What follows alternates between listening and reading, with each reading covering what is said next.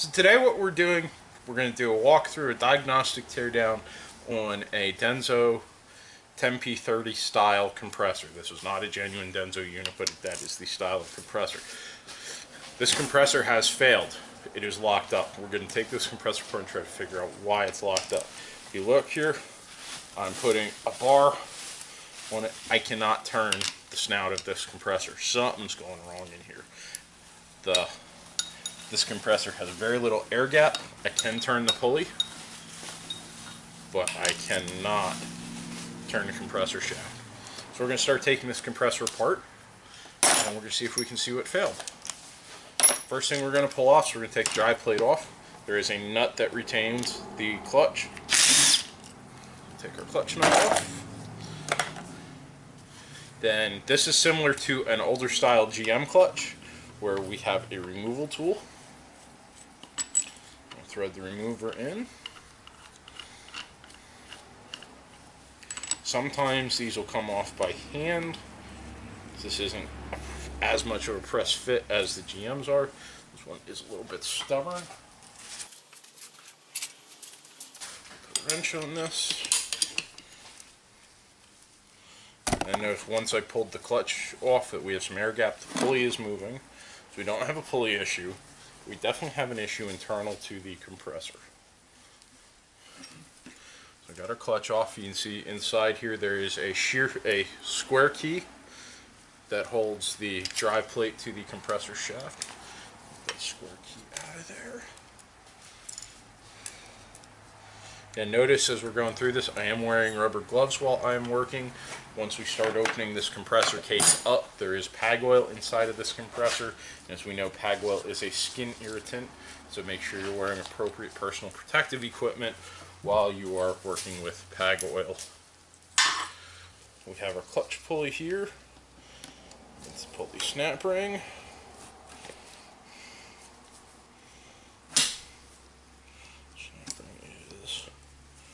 a little bit stuck here.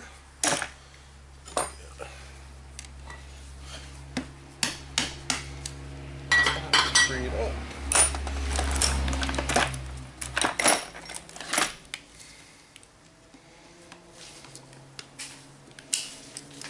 snap ring. Then we need a puller to pull the compressor off, or pull the pulley off. You do not want to use the shaft of the compressor to push against. We're going to use a little bushing here that we're pressing on the snout instead of the shaft. Just using a two-jaw puller to back this off.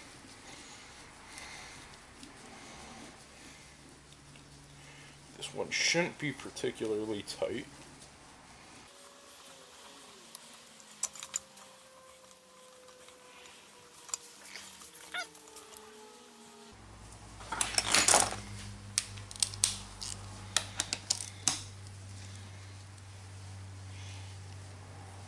Pulling her off. As I said, this one wasn't particularly tight.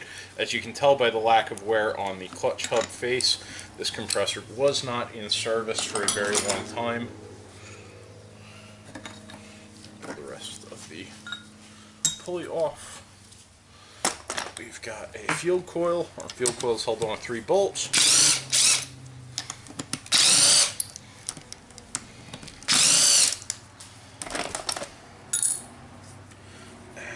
There is also, this one does not have it. Some of these, there's a ground eyelet that goes up here that the compressor grounds through the compressor case. On any of these Asian compressors, note that's usually a Phillips head screw, except it is not Phillips head. The Asian manufacturers use JIS, Japanese Industrial Standard, which is slightly different from Phillips. If you ever wondered why you're taking a Phillips head screw out of an Asian car and it's tight and your Phillips head screwdriver is camming out, it's because JIS is not the same as Phillips. So make sure you have the right tools to prevent that.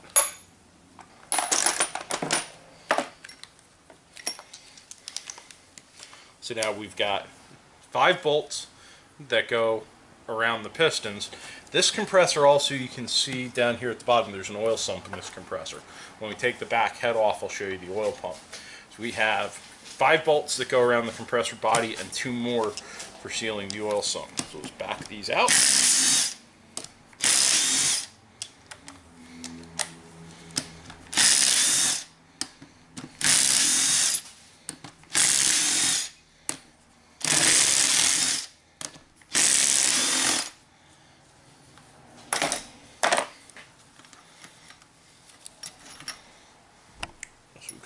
Plenty of oil inside this compressor.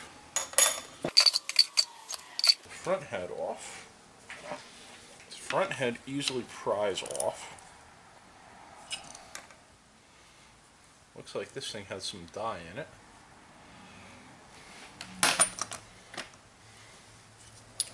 But so far it looks pretty clean.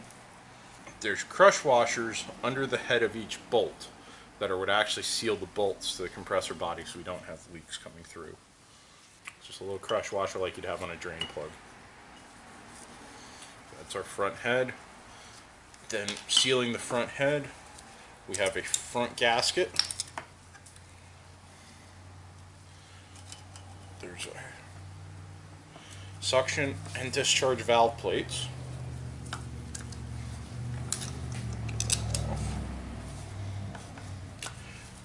Suction discharge valve plates usually stick down pretty good because of the oil. And note this also, there's an alignment pin right there, one on each side, that prevents them from rotating to give you proper alignment when you are assembling. So work this up off of the alignment pin. And you can see this is our suction valve plate and our discharge valve plate. One valve per cylinder, this is a 10 cylinder compressor. So that is our front head. What I'm trying to see is with anything removed, if I can rotate this compressor yet. Uh, I'm going to, if I was trying to put this compressor together for service or if I was just resealing, I would never do this because you're going to damage a seal surface. But I'm just going to use a pair of pliers to try to rotate this shaft. Nope, not yet. So we turn this over. We should dump out some oil. A bunch of oil coming out try to take this back head off.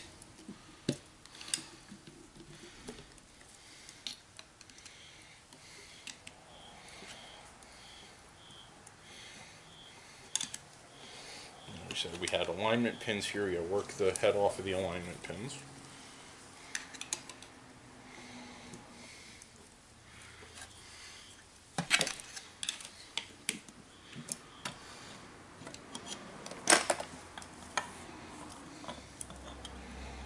So there you see we have our rear head. And I said this compressor has a crankcase. So you see right there, there's an oil pickup port.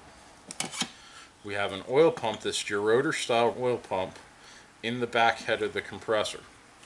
And it's going to actually pick up oil from the crankcase and pump it through the compressor and help pump oil through the system. So this one actually does have a sump inside. I'm going to take the oil pump out.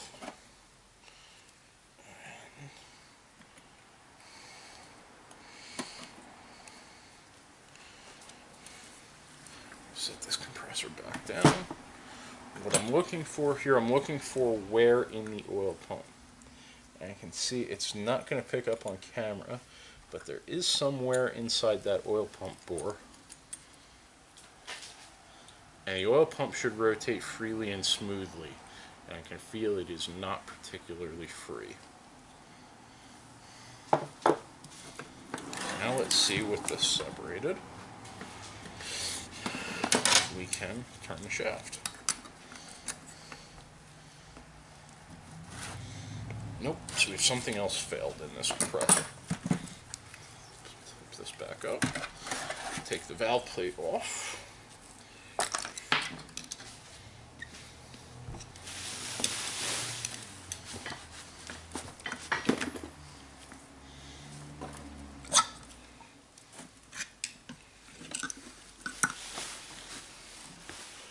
and I see our failure. If you notice, pour the oil out here. If we look down in the bores of this back housing of the compressor, we see we have scuffing. When I pull the center section apart, I'll show you the pistons. this style of compressor is unique in that there are no piston rings. So we have a very, very tight cylinder to wall clearance. And it looks like something happened, something most likely thermal expansion issue, that this compressor scuffed. The last thing to split the center section, this manifold that is at the top has to come off. So with that off, I should be able to split the two sections of the compressor.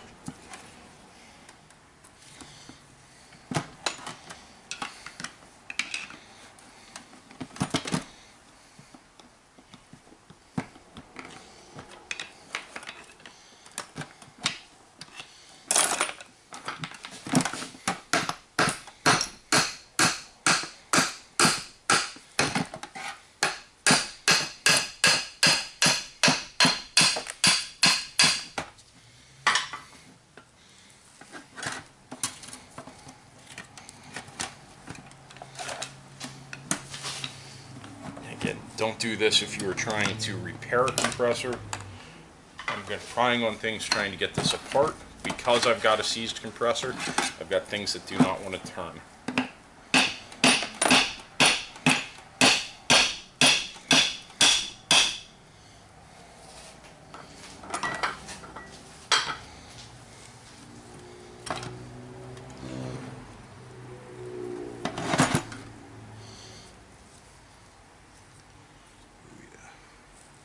So you see, looking at these pistons here, we said this is a 10 cylinder compressor horizontally opposed. So we have five pistons. And notice these are Teflon coated pistons, but there is no piston ring on these pistons. How these seal, there's a groove cut in the end of the piston, and the pistons, then there's a little bit of oil that gets trapped between the piston and the cylinder wall. That is what provides the sealing. We've got a roller bearing in the back of the case here that is what supports the end of the shaft. It's not particularly healthy, but it's not horrible. So let's see now with just the front bearing and the pistons if we can rotate this shaft.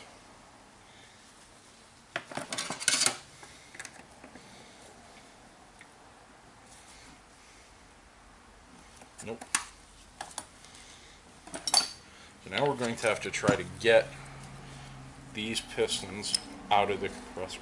And you can see two, that one's tight. This one doesn't move. This piston is what seized. It does not rotate.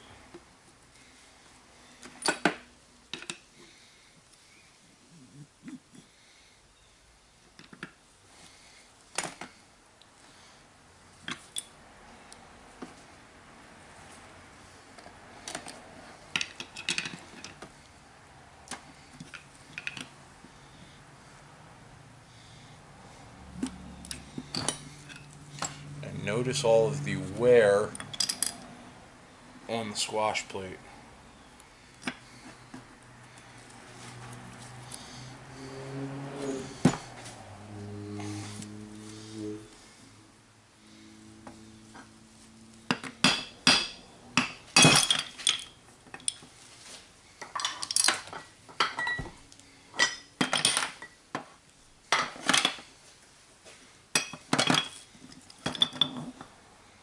So our root cause of failure on this compressor is if you look down here at the bottom,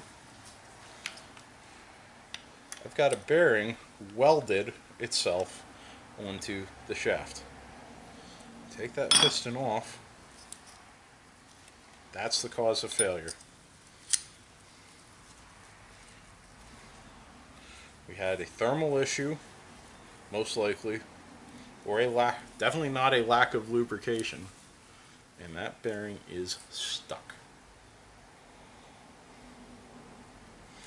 If you look, you can see looking at these other pistons, you see that should slide freely. And we've got a lot of wear in the top where it was rotating against that seized ball. Note the pistons look pretty good. There is wear and scuffing in the bores. My hypothesis at the moment would be this started putting off metal as evidenced by the significant wear on the swash plate. And that wear metal started going through our pistons and cylinders. As we can see, going to take a glove off here. I feel these with my fingers.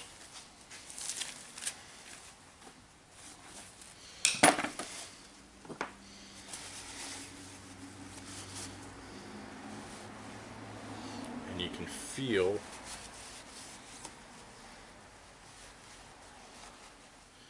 What's that feel like to you, Steve? Is that Inagata V- Davita or White Room? That's in a white room. That's with white dark room? curtains. At the station? Yeah. Okay. So that's why this compressor failed. It looks like we had a thermal event. The compressor got overheated. And we stuck a ball.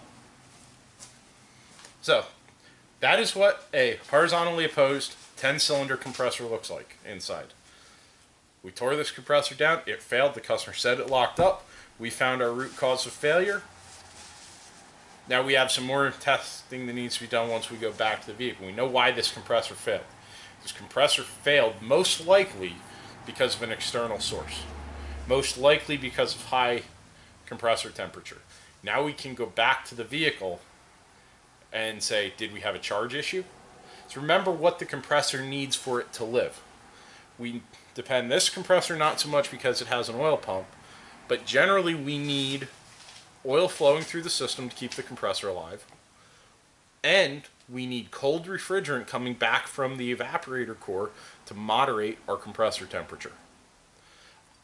My thought at the moment, without obviously we couldn't see this vehicle before the field compressor was it was operating before, but that we can go back and see once we put another compressor on this, we can bring this system up to spec and see do we have a charge issue, do we have something that's wrong that we are overheating this compressor.